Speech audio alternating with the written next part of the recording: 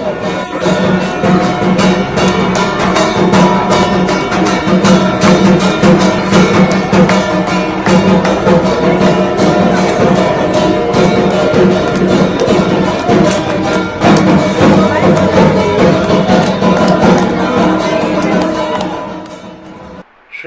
जी गुरु जी को अलग आदेश माँ भगवती को अलग आदेश रांची वाले भैरव बाबा को अलग आदेश आप सभी को आदेश आदेश। अघोर तंत्र रहस्य पर हमने जितनी भी यक्षिनियों का वर्णन उद्दमारेश्वर तंत्र में था, उसको शुरुआती दिनों में दे दिया। कुछ और यक्षिनियाँ हैं जो अलग तंत्र शास्त्रों में वर्णित हैं। उन्हीं में से एक यक्षिणी है, चंद्रगिरा यक्षिणी मूलभूत रूप से जो पुराने युग थे उसमें साधकों का मुख्य जो कार्य था, वो था साधना करना। वो सैकड़ों साल तक साधना करते थे। कई साधक ऐसे हैं जो कई युगों तक साधना करते थे। और जब वो साधना से निवृत्त होते थे तो उनको धन की आवश्यकता होती थी। तो देवताओं ने उनके इस धन के लिए कुछ यक्षिणी को ज़िम्मेदारी दी। और वो विधान जो महादेव और गौरा का जो अलग अलग तंत्र शास्त्र के विषय में जो ग्रंथ है, उसमें वर्णित है। उसमें चंद्रगिरा यक्षिणी के बारे में ये बोला जाता है कि जो साधक पूर्ण पूर्व काल में इनकी साधना करते थे, सिद्ध हो जाने पर ये यक्षिणी उनको हर रोज़ एक हज़ार सोने की मोहरे देते थे। तो खैर, सोने की मोहरे जो हैं, वो आज के दिन में तो आप नहीं पा सकते हैं। लेकिन ये है कि जिस भी साधक ने वर्तमान कालखंड में भी इनकी साधना की है, उनके हिसाब से उनके पास धन आर्जन बहुत हुआ और वैसे एक साधक से ये साधना मुझे मिली है। ठीक है? इस साधना को करने के लिए सबसे पहला जो आवश्यक वस्तु बोल लीजिए या जो व्यवस्था है वो ये है कि आपको एक निर्जन स्थान पर जाना होगा। ऐसा स्थान जहाँ पर कोई आता जाता नहीं हो। ठीक है? आपको जो सामग्री वहाँ लेके जाना है, वो है गुलाब का इत्र, चमेली का तेल, रक्त चंदन, ठीक है? फल, लाल आसन, खुद के लिए लाल वस्त्र थोड़ी सी रोली, ठीक है? लाल फूल लाल फूल की संख्या छः रहेगी। पाँच आपको पूजा में चढ़ाना है। और एक जो है वो जब आप जाप करेंगे तो आपके बाएँ कान पर रहेगा, ठीक है? सबसे पहले एक ऐसे स्थान का चुनाव कर लें और उसको साफ़ करें। साफ़ करने के बाद वहाँ पर पूर्व की तरफ़ मुख करके बैठेंगे, ठीक है? पश्चिम नहीं बैठ सकते हैं। पश्चिम में लक्ष्मी की साधना होती है। जो उत्तर है वहाँ पर महादेव की साधना होती है संध्या के बाद, और जो दक्षिण है उसकी साधना, दक्षिण मुख होकर के जो भी ऐसे सट कर्म होते हैं, जो अहितकारी हों, उनको करना चाहिए, ठीक है? तो आप अपना आसन बिछा लेंगे, सामने एक ट्रायंगल बनाएँगे। ट्रायंगल कैसे बनाएँगे? तो जो रोली लाए हैं, उसमें थोड़ा सा चमेली का तेल मिलाएँगे, उससे एक बड़ा सा ट्रायंगल बनाएँगे, जिसमें आप दो लाइन लिख सकें। लिखना क्या है?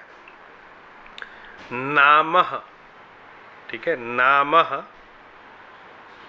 पहला लाइन है, बीच में फिर लिखेंगे, चंद्रागिरा चंद्रागिरा, और सबसे नीचे तीसरा जो लाइन है, उसमें लिखेंगे नमः, बाकी की पूजा इसी पर होगी। तो एक घी का दिया जलाएँगे, उसमें थोड़ा सा चमेली का तेल भी मिलाएँगे, और उसको जहाँ पर चंद्रगिरा नमः लिखा है, उस नमः के ऊपर ढक देंगे, रख देंगे उसको। ठीक है? खुद जो है, शुद्ध हो करके ये संध्या काल के बाद शुरू करना है और रात्रि से लेकर के जब तक जाप पूरा ना हो, तब तक बैठना है। देखिए, हर चीज़ बहुत आसानी से प्राप्त नहीं होता है। वैसे ही ये साधना है। इस साधना को करने से आपको अभिष्ट फल की प्राप्ति हो जाएगी। अगर सीधा आपको आशीर्वाद प्राप्त हो जाए, तब आप सोने में खेलेंगे। इसमें कोई दो राय नहीं है। लेकिन इतना ज़रूर होगा कि अगर सीधा आपको आशीर्वाद ना भी मिला, सिर्फ़ एक नज़र भी भगवती का आप पे पड़ गया तो आप समझ लीजिए कि जीवन भर आपको धन की कमी नहीं होने जा रही है।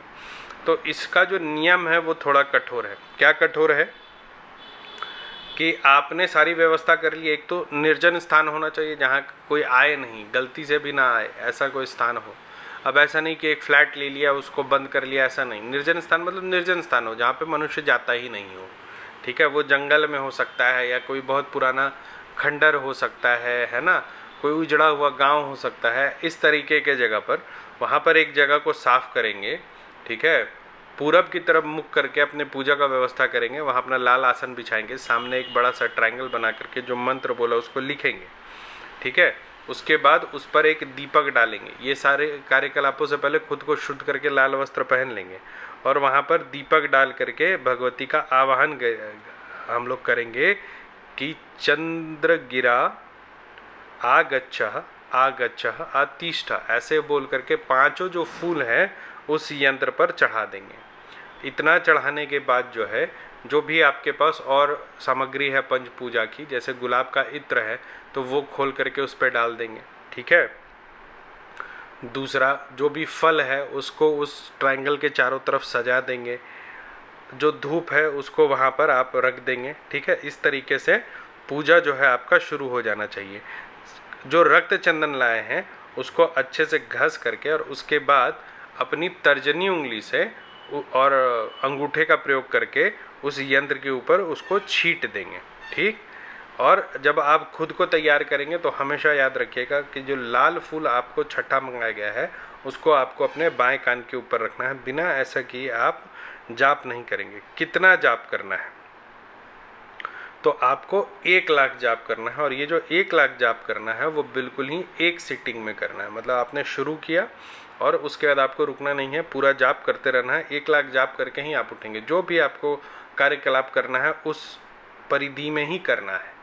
उसके बाहर आप नहीं जा सकते, वो आपके नज़र से नहीं हट सकता है, वो जो स्थान है। मंत्र क्या है? मंत्र तीन बार बोलूँगा, ध्यान से सुनिएगा, उसके बाद हवन विधान बताऊँगा।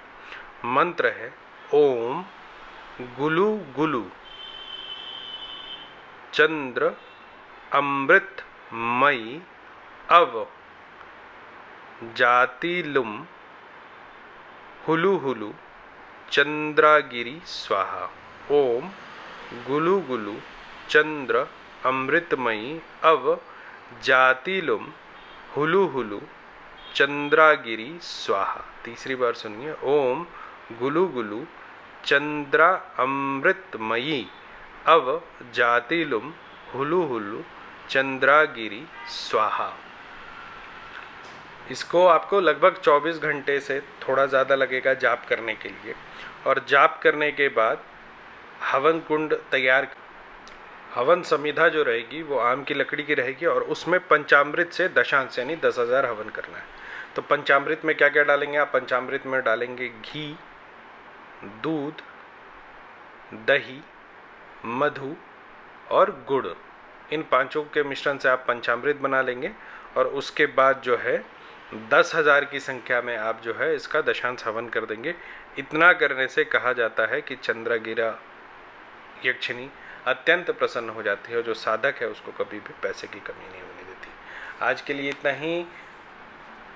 रांची वाले भैरव बाबा आपको इस साधना में सफलता दे अगर आप करने जा रहे हैं और जो नहीं भी कर रहे हैं, उन पर रांची वाले भाव अनंत आशीर्वाद बरसाएँ, ऐसे उनसे मेरी प्रार्थना है। आप सभी को आदेश आदेश अलग आदेश।